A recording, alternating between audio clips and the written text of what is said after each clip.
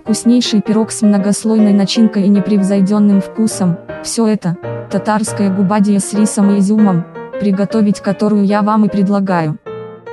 Вы с легкостью можете приготовить губадию с рисом и изюмом в домашних условиях, это одно из главных угощений на праздничном столе.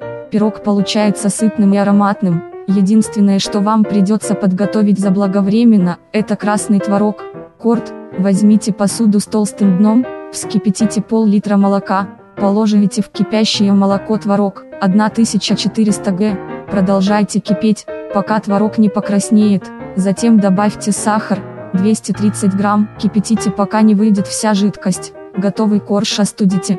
А теперь можно приступать к основной части, удачи! Досмотришь вида и я предложу записать список ингредиентов. Отварите рис, откиньте его на сито, изюм очистите и промойте, откиньте на сито, яйца варим вкрутую, очищаем. Раскатайте тесто и положите его в сковороду, смазанную маслом, на тесто выкладываем отварной рис, затем корт, красный творог, на корт выложите оставшийся рис.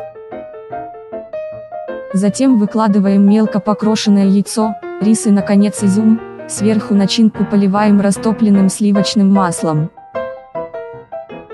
Покройте губадию сверху тонким слоем теста, посыпьте крошкой, выпекать в духовке до готовности, температура 200 градусов.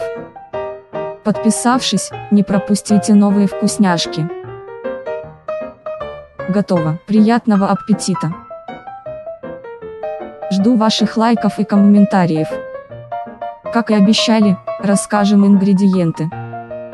Тесто пресное, 800 грамм, рис, 800 грамм, изюм, 350 грамм, яйцо, 6 штук, масло сливочное, 400 грамм, количество порций, 6. Не пропустите самое вкусное, подпишитесь, выразите свое мнение в комментариях. Удачного дня!